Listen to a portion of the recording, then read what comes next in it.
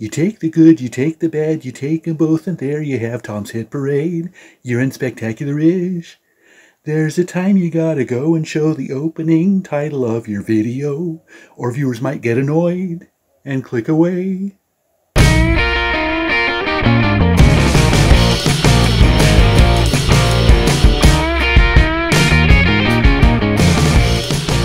Greetings, one and all, and welcome back to Tom's Hit Parade. Here we are charging on ahead with uh, part four in my five part Tom's Hit Parade 2022 year end spectacular-ish. Uh, don't miss the grand finale tomorrow, part five, where I will be counting down my 25 favorite studio albums of 2022. You're not going to want to miss that one. Uh, but as for today's video, we're going to be giving you uh, a little bit, as the clever song in my cold open kind of implied, a little bit of the good and a little bit of the bad. Uh, the, the good will be coming up in just a few minutes here, where I will be talking about, uh, I will be giving you the winners and runners-up in five categories of what I call my favorite odds and ends, and that is basically anything that isn't wasn't a regular studio album uh, released in 2022. Uh, this is going to be my favorite holiday albums, live releases, compilations, soundtracks, and reissues. Lots of ground to cover today, but uh, first of all, before we do the good, uh, we're going to do the bad, or at least as bad as or as negative as I care to get on my channel, and that is my five most disappointing albums of 2022. Now, pay attention to the name of that list. Uh, these are not the worst albums. I don't do worst albums because uh, I like to, uh, well, I basically just concentrate on, since I have, uh, I think I mentioned this earlier this week, I have a full-time job and I like to sleep eight hours a day, so I only have so much time to listen to music, so I tend to concentrate on the stuff that I know I'm going to like or that I think I'm going to like. And that's kind of where this list comes in. Uh, the five items uh, on the main part of this, the ranked part of this list, are going to be stuff that I used to own on physical format. Uh, you know, all of my year-end lists, I like to do stuff that I own on physical format, but these were ones that I bought, uh, and of course, if I'm going to spend the money to buy them, uh, I'm expecting, or at least hoping, that I'm going to like them. Unfortunately, as, as is kind of, that's the uh, beautiful thing about music in a way, is just as we don't know why we like the stuff that we like or that it connects to us, why it connects to us, uh, the same thing can happen with uh, stuff that we think we're going to like and for whatever reason just doesn't connect with us. And that is what is uh, on the main part of this list. Uh, I'm also going to be doing, be, be mentioning five honorable mentions. Uh, the first two of those will be the uh, two items that I'm, two titles that I am not giving up on. I'm not, uh, those are not in any, any danger, at least not yet, not in the foreseeable future, of being gotten rid of, uh, sold, or traded to the record stores for trade credit. Uh, the other three honorable mentions will be stuff that is on the bubble, and I'm not sure if it's going to, you know, I, am going to give it more time, obvious, obviously, but they are, the possibility is there that they will be sold or traded into other stores. But of course, the number five, the five ranked items are long gone. They left my collection. Uh, disappointed I was in, in them. And again, this is not, uh, these are not albums that I hated or didn't like. They're just ones that I didn't connect with. And if you connected with these albums and they are some of your favorites of the, of the year, amazing. I'm glad you got something out of them that for whatever reason I couldn't get. So anyway, let's go ahead and start with the uh, two keeper honorable mentions, I guess you'd say, and that would be uh, Meghan Trainor with her album Taking It Back, and Charlie Puth's album Charlie. Uh, I like these artists. I've liked them both since the beginning, and yeah, it's just I, I expected more to be really enjoyable out of these albums. I was, you know, how do I put it? Um, these are good enough. I, I like them. It's just there wasn't anything really fresh in either of these albums for me to really enjoy. So yeah, that was kind of disappointing, I gotta say. And uh, not sure if I can say any more about those. Maybe I can point out a couple of songs that I liked. Uh, Charlie Be Quiet was a very, uh, that, that was a good one. He's kind of, in a few of these songs, he did not, he kind of doesn't take himself too seriously. So that's a good thing. I always like an artist that does not take themselves too seriously. And uh, Light Switch was pretty good. And uh, why am I not, not finding the other one that I really liked? Oh, Loser that was a good one. I like that one. And then, uh, yeah, as for uh, Meghan Trainor taking it back, I can't really think of any uh, songs that really jump out at me. Uh, as I recall, Rainbow was really good. Um, Sensitive featuring Scott Hoying of Pentatonix when she when she brings him in to do that. Oh, and there was a song on here featuring Arturo Sandoval, who is a, a trumpeter, I believe, a jazz trumpeter. So it's like whenever a, a young artist like this brings on somebody who's, you know, a veteran and was Arturo Sandoval in his like 70s or 80s now, I think. You know, I got to give props to an artist who recognizes and pays tribute to the the the old guard, so to speak. Like kind of like uh, Charlie Puth did with his last album. He brought in James Taylor to uh, guest on a song. So that's one of several reasons why I like Charlie. So anyway, yeah. Uh, tried as I might, I could not get into those. Maybe they will still grow on me in the coming year. Who knows? And now for uh, as for the three on the bubble um, uh, honorable mentions, first one is going to go to Rex Orange County with his album Who Cares. I really I like the songs just as much as on his previous album Pony. It's just the uh, I found it difficult to go back to listen to this album since the uh, the allegations of service surfaced against him. Um, I guess time will tell as to how those work out, uh, whether he uh, acquits himself, gets himself acquitted of those, or uh, or, or whatever happens uh, with them. Uh, yeah, it's just sometimes it. As you've seen me talk about a few times on my channel, there are some ways that you can separate the art from the artist, and there are some ways that you kind of can't. And uh, this is one of those uh, cases where, I don't know, I find it a little difficult. And then again, it also depends on the artist. So, you know, like Michael Jackson, who, uh, you know, I mean, a lot of those allegations came around after he passed away, but his music is just so inseparable and was such a part of my youth that, you know, he's hard to really, I can't really surgically remove him from my listening. So but with Rex Orange County, it can be a different story. Um, yeah, I'm not sure. Like I said, for the reasons that I always already just said, I'm not sure if that's uh, how he's going to, uh, what his long-term future in my collection will be. So, and then as for the other two, yeah, the other two on the bubble honorable mentions, uh, they're actually both country-related titles. Uh, we have Breland. I really like this guy. Um, he mixes uh, hip hop and contemporary R&B elements with country, which I mean, I always like uh, artists who kind of, you know, want to stretch genre boundaries and blend one genre into another. Um, just the, songs, the songs have been having trouble sticking with me. That's all I, that's the only way I can put it. Uh, you know, he's, he's a good artist, a good uh, uh, uh, vocalist and all that. Just, yeah, not sure as I said, I will give these uh, repeated listens uh, until they either stop growing on me or I don't know, or, or, I just get plain sick of them. I don't know. But anyway, yeah. So Breland is still on the fence, as is Brett Eldredge. Um, I believe it was uh, Keegan from K-Man Reviews first brought my attention to this album. And uh, for the reasons that uh, he specified, yes, Brett Eldredge has a gorgeous voice, a fantastic voice, uh, which is kind of front and center in all these songs and he mixes. He's he's got kind of a soul element to to several of these songs, uh, but kind of the same thing with Breland. A, a lot of the songs they sound good when you're listening to them, but I have trouble recalling them an hour or so after I've listened to the album. So yeah, remains to be seen, as with the other honorable mentions, as to whether uh, he sticks with me. And I may check out some of Brett Eldredge's uh, older albums to see if there's anything in there that uh, that I might uh, enjoy perhaps more than this album here. Oh, this album, by the way, was uh, uh Songs About You. Well, yeah, it's his current his album from 2022. Yes, these are the disappointments from 2022. Duh. Anyway, and now on to the primary list of my most disappointing albums of 2022. I will put the cover images here in the corner since I actually no longer have the albums and as I said at the beginning, you know, don't go flaming me or roasting me in the comments. Uh, I, it's not that I hated these albums; they just I just couldn't connect with them. Uh, number five is Patient Number Nine by Ozzy Osbourne.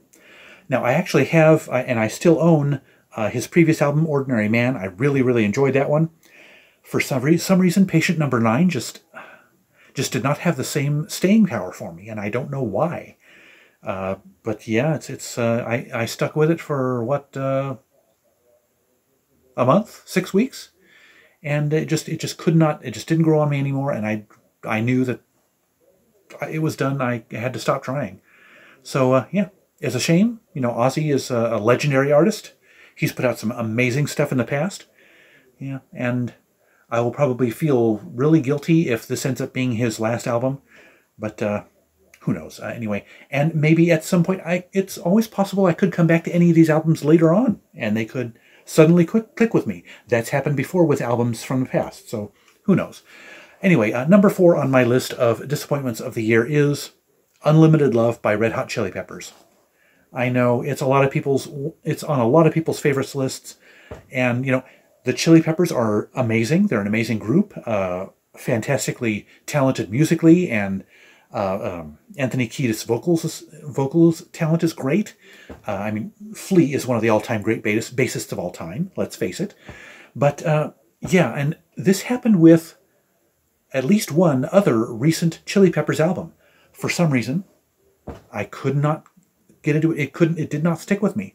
But uh, the the uh, the previous Rick Rubin albums from the what, what was it? The early '90s, late '80s, early '90s.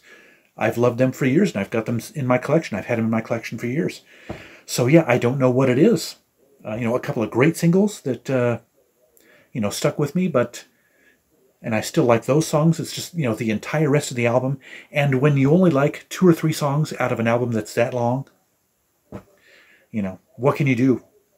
It's kind of a losing battle. So yes, unfortunately, Unlimited Love by Red Hot Chili Peppers just uh, could not, um, did not grow on me, and I had to uh, trade it in at the store. So number three on my list, and this one also hurt, well, all five of these hurt in a way, in varying degrees. But number three on my list is Gold Rush Kid by George Ezra. Love his first two albums. I've had them pretty much since the beginning, since they came out, I think. And so, yes, I picked up his uh, latest album, Gold Rush Kid, I think without even no, I think I heard the first single, and uh, yeah, liked it for the first few listens, and then it just ended up shrinking on me quite a bit. And uh, you know, his voice is just, and you know me, I like unique, distinctive voices, and George Ezra has one of the most unique ones around. It's just the songs just were not memorable. I could not, they could not stick with me at all. So sad to say, the first George Ezra album that was a disappointment to me. So yes, sad to say that. My number two, my runner-up for disappointing album of the year is AM Gold by Train. And this one, you know, when I re- when I heard that it was a kind of a nostalgia trip back to 70s yacht rock, even though I hate that term, uh, you know, 70s pop and stuff like uh, what, like America and Bread and all that stuff, I was on board. And I actually, their previous album, A Girl, a Bottle, a Boat, was one of the most boring albums I remember picking up in the history of of my music listening careers. It was just terrible. And so I kind of held out hope because I have a few of Train's or a couple of Train's earlier albums and I really enjoyed them. Drops of Jupiter is one of my favorite albums from its time. Uh, but yeah, and another reason this hurts is um, because Train was one of my sister's favorite groups. So, you know, to not connect with something that she enjoyed that I used to be able to connect with is is a little painful actually. So, and yeah, it's uh, I was kind of expecting since uh, John Mayer's most recent album, uh, Sob Rock, was kind of a similar homage to 80s soft rock. Uh, I was kind of expecting to be won over uh, as much as I was with his album. But yeah, uh, and same thing with pretty much all the other albums on this list.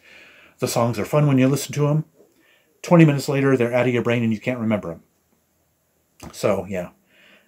Very terribly disappointing. Uh, but the most disappointing album for me for 2022 was Higher by Michael Bublé.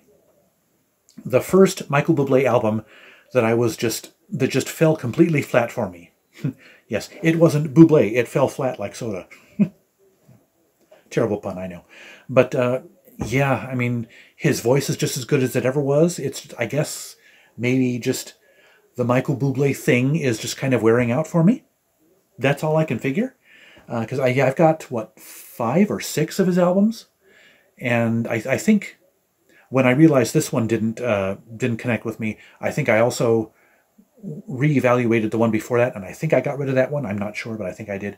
So, but yeah, he's got some great albums, some great, great songs uh, CDs that I am keeping in my collection of his, but sad to say, Higher was not one of them, and it uh, disappointed me. Sorry to say. So, yeah, I guess that is my list of my most disappointing albums of 2022. Okay, now that the bad stuff is done and out of the way, let's go ahead and get back to the good stuff, shall we? Uh, in this half of the video, I will be talking about uh, my winners and runners-up in five categories, which I call my odds and ends. Uh, I used to call them fringe categories, which that makes them sound like they're really weird, off-the-wall, bizarre uh, releases. But in truth, these are basically just anything that wasn't a regular studio album in 2022. We are talking live albums, reissues, soundtracks, holiday albums, and compilations. So yes, I will be giving you a runner-up and a winner in each of those categories because that's basically all that I bought in 2022 releases from any of those uh, criteria. So they're, they're kind of, well, they're kind of winners and runners-up by default, even though I did choose which was which, the winner and the runner-up.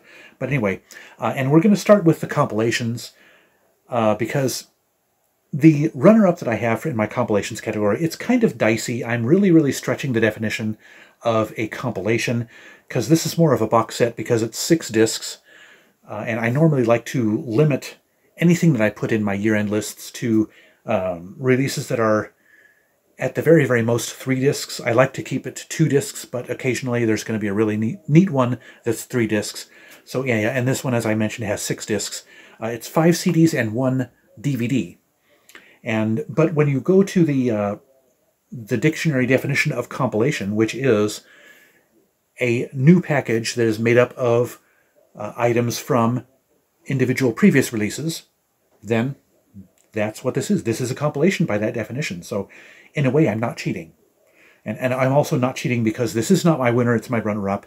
But anyway, to make a long story even longer, let's go ahead and tell you what this is. My runner-up for compilation of the year is the Complete Picture, Chesney Hawkes, uh, 1991 to 2012. Now, Chesney Hawkes uh, is a uh, pop singer uh, from the UK. Well, he started out as a teen pop singer. This is how he looked in 1991. And uh, he ended up as a pretty darn good um, adult singer-songwriter. So, and that's one thing that this uh, set does a good job at is kind of tracing his evolution from teen pop singer to adult singer-songwriter. And yes, this has all four of his studio albums, a disc of rarities, and remixes, demos, and all that stuff. And the DVD has music videos, um, uh, concert footage, and TV appearances on it. So a cool box set.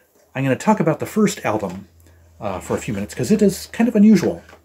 Uh, in the UK, I'm digging into the box set here, in the UK his debut album was called Buddy's Song, and I was stupid and didn't grab the American version off the shelf to show it to you. Uh, duh. I, I, did everything else for preparation, but I didn't do that. Uh, in America, his debut album was called The One and Only, uh, because that was the most popular song off of it. And the reason it was called Buddy's Song in the UK is because it serves as the de facto soundtrack to, I believe it was just a TV movie in the UK called Buddy's Song. Um, he played Buddy, and Roger Daltrey of The Who played Buddy's dad. So, yes, Roger Daltrey acted. I, I, think he's. It's known that he's been an actor. I don't think that's the only thing he's acted in, but uh, it was kind of cool. And I hadn't watched that movie Buddy Song until just about two months ago. It's actually available for free on YouTube. The quality is pretty bad because I don't think there was ever a uh, an official video release of it. So you're you're looking at a VHS copy of a TV broadcast, I think. Uh, so yeah, the quality's not great, but it's an entertaining little movie, and uh, you know, for the first time, I understood how the context, the context of how the songs were presented in, in the movie, for the first time ever. And I, I've had his, uh, the American version, the one and only CD for since the early '90s, since basically since it came out. So, but yes, very entertaining. I am uh, not sorry at all that I picked it up. It was fun. Anyway, my uh, the winner for my favorite compilation of 2022 is now that's what I call Pride in a way, how could it not be, right? Uh, but yes, it was kind of, it, it's kind of cool. I don't think I heard about this at all. I saw it on the racks at, was it Walmart or uh, maybe it was uh, Barnes & Noble or somewhere else. Uh, I just saw it sitting there on the racks and I thought, hey, it's about time. I mean, yeah, the, the uh, now that's what I call music uh, people, they put out two volumes of Now That's What I Call Yacht Rock before they put out one volume of Now That's What I Call Pride. So go figure. Anyway, uh, all, all of the songs that you would expect are here. Uh, Born This Way by Lady Gaga and oh, where's that one? Um, oh, I'm Coming Out by Diana or uh, yeah Diana Ross, and of course uh, some disco songs. Of course, you can't have you can't have a Pride album without disco. And uh, Rainbow by Kacey Musgraves, Beautiful by Christina Aguilera, uh, Aguilera, Beautiful by Christina Aguilera, yes. And so, yeah, lots of great stuff on here. And there was a, there are a couple songs that I can't think about think of off the top of my head. Oh, and another great thing about this CD is it has I think only the second appearance of on physical form of any song off of Lil Nas X's Montero album. In this case, the title track Montero, "Call Me Call Me by Your Name," is on. It's on a CD. How about that? Yeah, thank, thanks Nas for never putting that album on out, out on physical format. I still hate him for that. Uh, but anyway, yes, uh, a, a couple, as I was going to say, a couple of songs that uh, I would have thought should have been on here are missing, but uh, maybe they're saving those for now. That's what I'll call Pride 2. We'll wait and see, I guess. But anyway, so yes, that is my favorite compilation of 2022. Now on to the holiday albums. Uh, I, I only really bought, I think, just two, these two holiday albums uh, new as new releases during 2022. So as I said, they're kind of winners by default, or winners and runners up. Uh, but yeah, the uh, runner up for my favorite holiday album is A Very Backstreet Christmas by Backstreet Boys. And it kind of surprised me when I realized that they had not released a holiday album until 2022. Yeah. NSYNC jumped on it uh, way back in the day. They put out a holiday album as their second album release, I think, in the States. But yeah, Backstreet Boys, for whatever reason, waited until this year to put one out, and uh, yeah, it's very fun and enjoyable. Their their harmonies, their vocal harmonies, of are of course as great as they've always been. And let's face it, it's the Backstreet Boys. Uh, the title was a, in my opinion, it was kind of a lazy title. I mean, in the recent years, we've had a very Kacey Christmas and a very a very Trainor Christmas, I think, and then uh, uh, Darren Criss. I mean, at least he was a little clever. It was a play on his name. Came out with a very a very Darren Crissmas. You know, so let let's ramp up the originality, guys, with the album titles, okay? But other than that, um, fun stuff. I mean, all the all the classics are on here. Um, Have yourself a merry little Christmas, the Christmas song. Uh, I'll be home for Christmas. They do a cover of Wham's Last Christmas. So that's good stuff. And uh, Feliz Navidad. So they do a pretty good version of that one as well. Um, and they have a couple of, I think, a couple of uh, original songs. Happy Days, which I don't, it, it's not the TV theme song. Uh, and It's Christmas Time Again. I'm not sure if that is a cover or not, but uh, yeah. A very enjoyable album if you're looking for the classic, good old, classic old-timey Christmas songs. Uh, but my favorite one is uh, It's Christmas with a Twist. This is, uh, it, its originality makes it my favorite holiday album of 2022 and that is Holidays Around the World by Pentatonix. Sorry about the uh, glare there for the reflection from the screen.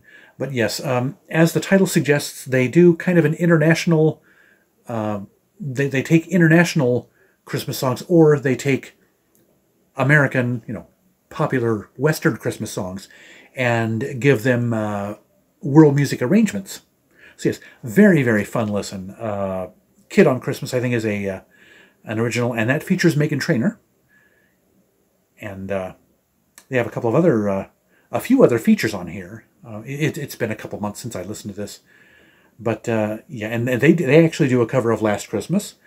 But uh, yes, several good arrangements. I wish I had taken notes so I could tell you, but there were a couple of uh, songs on here where the arrangement is they put a twist on it. It's it's a kind of an arrangement you wouldn't expect. So if you have not listened to this and if, if your appetite for holiday music goes year round and you can listen to it in January or February, I recommend putting this on and giving it a listen. Uh, very, very interesting. One of the most unique holiday albums to come along in years. Uh, and so, yeah, excellent stuff. And of course, Pentatonix uh, themselves, they are still at the top of their game uh, with great stuff. And they bring some, some uh, American artists and some uh, international artists in as um, features on here. So, yeah. Very, very good stuff. Highly recommended. As is uh, taking uh, drinking water regularly is also high, highly recommended. So, excuse me for a moment. How's that for a clever segue? Anyway, on to the next category, which is my favorite and second favorite soundtrack albums of 2022. Uh, not a lot of introductory stuff to say here. My runner-up for favorite soundtrack is Top Gun Maverick, even though I have not yet seen the movie. I know it's on streaming, and my streaming box is literally I'm looking at it right there, so I could watch it any any time, but I haven't watched it yet. But uh, yeah, one of the big draws on this was, of course, the presence of Lady Gaga. I like Gaga; she's you know, I've I've loved her for years, and so yeah, her original songs on here are, are excellent. Uh, of course, uh, you know, to be totally honest, to be brutally honest, this does not hold a candle to the original sound uh, Top Gun soundtrack album from the 80s. What could? I mean, you know, the 80s was definitely the golden years of, or the, the golden age of movie soundtracks, uh, song-based movie soundtracks. But uh, yeah, still plenty of good stuff on here. And uh, I was curious at the credit, uh, music by Harold Faltermeyer, Lady Gaga, and Hans Zimmer. So I'm kind of wondering, did Lady Gaga play more of a role in the composition of the music, the like the instrumental music, or what? Or, or was that strictly Harold Faltermeyer and Hans Zimmer? I don't know. But anyway, I guess the Top Gun anthem that Harold Faltermeyer wrote for the original film uh, reappears in this one, so that's kind of fun to hear that. And uh, yeah, and the instrumental stuff by Hans Zimmer is pretty good too. I, or do I have any of Hans Zimmer's other stuff? I don't think I do actually. I might be confusing him with uh, somebody else. But anyway, good soundtrack. Um, is it a good movie? I assume it it is. It's it's a hit movie. It's been getting lots of good praise and stuff. So, uh, some at some point very soon, I will watch the movie. I promise. But my favorite soundtrack. Oops, Sorry, I dropped it. My favorite soundtrack of 2022, and this one caught me by surprise because I didn't think I was going to like it when I watched the movie, but uh, I kind of turned around and uh, really, really enjoy it. Elvis. Sorry about the reflection of the uh, tablet screen in there. But anyway, yes. Um, at first, when I first saw the movie and listened to the music they had in it, I was completely bewildered and befuddled and kind of turned off a couple of times. I wasn't sure what uh, Baz Luhrmann was uh, trying to accomplish with the music, but then I eventually realized he was bringing contemporary, you know, hip hop and R and B in to show it as kind of a through line of how Elvis influenced popular music back in his time. Elvis brought a lot of black influences into uh, American popular music, which at the time was very, very white. So yes, so this kind of, you know, by bringing a lot of these hip hop acts in, into the soundtrack, and some of them were kind of uh, sampling, some of them lightly, some of them heavily, sampling Elvis music, kind of shows uh, how Elvis basically influenced everything going forward. So yes, very, very clever, I thought, on uh, Baz Luhrmann's part, or, or whoever had ultimate say in the music. I don't know if it was Baz Luhrmann or just the music supervisor for the movie, but anyway, uh, yes. And of course, uh, Elvis songs, you know, I, I am much more a fan of uh, early period Elvis, Elvis than of any other period. And of course, the, uh, you know, you've got Elvis, you know, archive recordings of Elvis himself singing songs. And in some of the, uh, some of the other songs, um, God, what's his name? Austin Butler uh, sings the songs as well. So, and you've got Stevie Nicks and Chris Isaak duet on a song here, and uh, and Kacey Musgraves sings "I Can't Help Falling in Love." love that one. I love Kacey. Uh, so yeah, I'm just in all sorts of artists that you wouldn't have uh, you wouldn't expect would appear in a movie like this. So, and the movie was fantastic, by the way. If you have not seen it, you've got to see it. Austin Butler blew me away as Elvis. I mean, fantastic performance. So yeah, my favorite soundtrack of the year, Elvis. And probably my favorite movie of the year because that's almost the only movie I watched. I'm not a huge movie guy. I, I don't know why it is, but why that is. But anyway, uh, as that is it for the favorite soundtrack releases. Now we're going on to the favorite reissues, my favorite reissues of 2022. And this one was kind of hard to do. I depending on my mood, mood day, day uh, from one day to the next, I will flip-flop these and make the winner the runner-up and the runner-up the winner. But uh, today I'm going to stick with this um, structuring of it. My runner-up for favorite reissue of the year is the 10th anniversary edition of Jake Bugg's studio debut studio album, self-titled.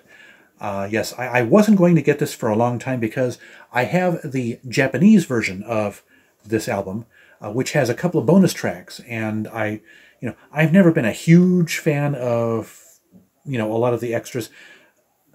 Almost never remixes or demos, you know, unless there's something really, really different from the finished product. You know, B-sides I like, uh, but yeah, this album has the first disc. It's, this is a three disc set, by the way. The first disc is the remaster of the original album. The second disc is uh, packed with B-sides and uh, B-sides and remixes. Uh, 18 songs on that disc, so it is literally packed to the brim with uh, that stuff.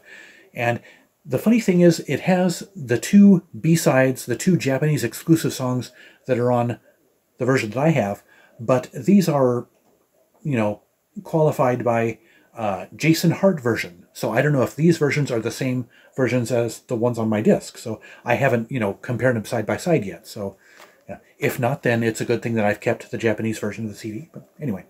And uh, the third disc is actually a live album, uh, live at the Royal Albert Hall, and it also features, let's see, uh, Michael Kiwanuka and Johnny Marr on a few of the tracks. So yes, you get a full concert album, a full disc of B-sides, along with the original studio album remastered. So it's if you like Jake Bugg and you've got a little extra cash in your wallet, I would recommend this. Uh, it's got it has a lot of uh, uh, stuff that makes it worth the extra purchase. So yes, very very good stuff, and I cannot believe it's been ten freaking years since. Well, technically now it's eleven years uh, since uh, Jake Bugg sprang onto the scene. So, but I've got every one of his albums and they're just excellent. I, he seems to keep getting better uh, all the time. As you re might recall, his most recent album was my number one album of last year. So, Anyway, but uh, the my number one favorite reissue, as it stands right now, uh, of 2022 is Spider-Man, the 20th uh, anniversary.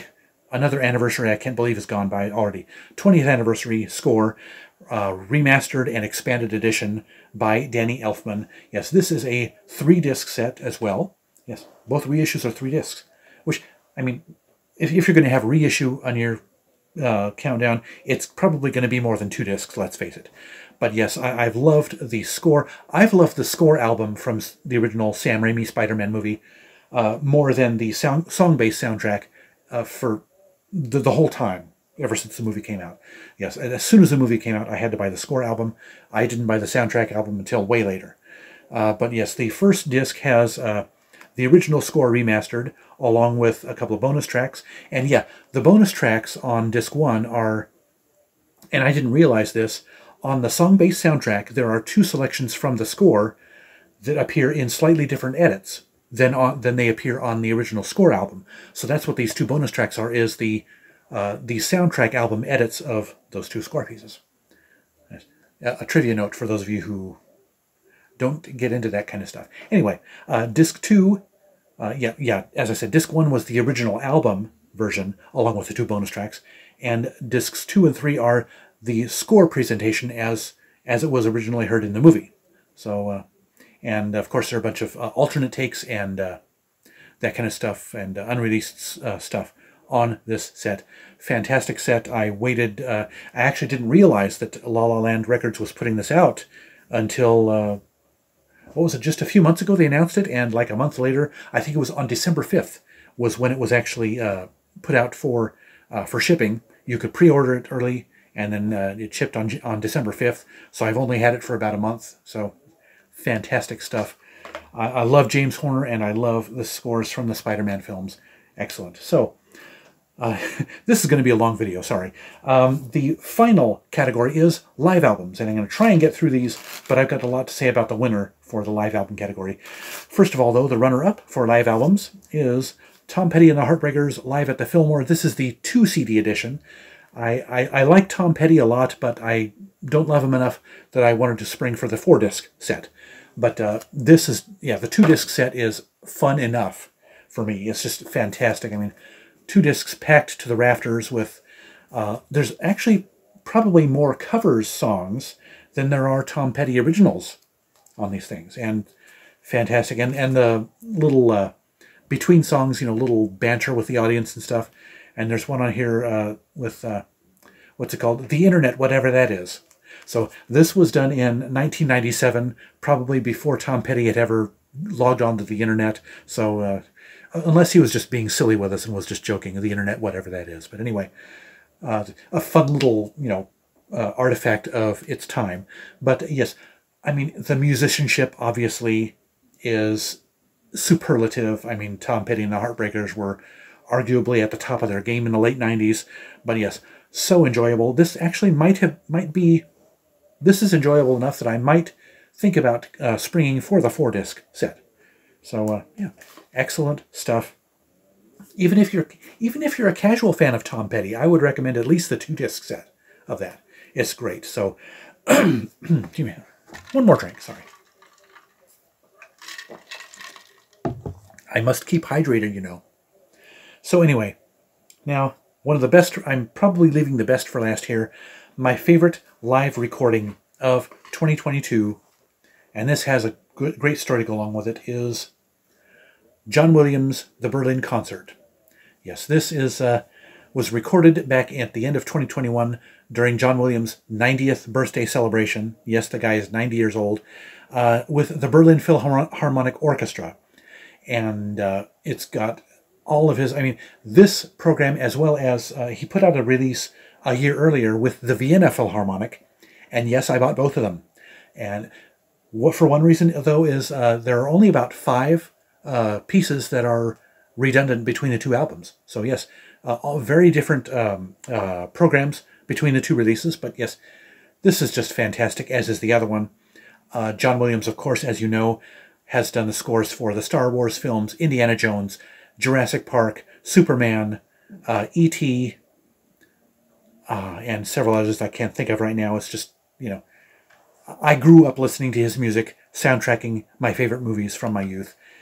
And uh, yeah, there's a very, very special meaning uh, that this album has for me. Cannot get the glare out of there. Um, one, one reason, and it's a big reason why I love this one and the Vienna album so much, is because they remind me of when I went to see John Williams performing with the Eugene Symphony Orchestra. And it was the first concert that I went to after my sister passed away. It was only about a month after my sister passed away. And it was, I mean, it's almost a cliche to say that music is healing, music has healing properties, but, and I never really believed that until that night.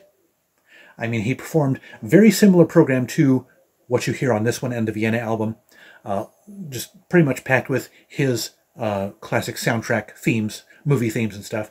And it was so incredibly therapeutic and healing for me.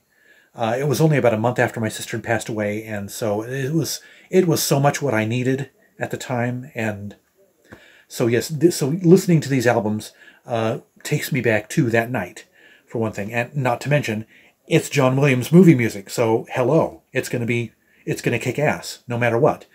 And uh, so, yeah, that's one reason amongst many why this is my favorite uh, live album of the year. And oh, one thing that's kind of funny on this, I, I think it was the Berlin one, uh, was that he uh, does little introductions to some of the pieces, you know, little spoken word passages between the uh, compositions. And at one point, he talks about uh, this being his first trip to Berlin. It's like the guy's 90 years old, and he hadn't been to Berlin until, you know, being going there to perform with, for the concert. So that was that was kind of an interesting thing. It's like, and it's like you're never too old to not have seen everything. So that's I, I don't know if I'm uh, communicating that effectively or not, but uh, you know the, the, the reason why I'm in, kind of enchanted with that is you know even even a guy like John Williams hasn't seen everything. Maybe maybe that's the the way I'm supposed to be phrasing it, but I don't know. Anyway, uh, stop me from going on any longer than I am. Uh, so yes, those are my favorite uh, li my lists for well, one favorite and some favorites, some least favorites lists for today's video. Be sure and stay tuned for tomorrow's video, the big one, the grand finale, where I talk about my 25 favorite studio albums of 2022 along with 8 honorable mentions. But for now, that'll do it for this video. I hope you enjoyed it. If so, hit that like button and share it with your friends, and give me your thoughts, questions, suggestions, or constructive criticisms in the comment section below. Also, scroll down to the description for the links to my Twitter and Instagram feeds, and links to my favorite fellow YouTubers who are all worth checking out. And don't forget to subscribe to my channel if you haven't yet, and browse my past videos, and be sure to ring that notifications bell so you'll be the first to know each time I drop a new video. Otherwise, thank you so much for watching, I'll see you tomorrow, and remember, life's too short to be a music snob.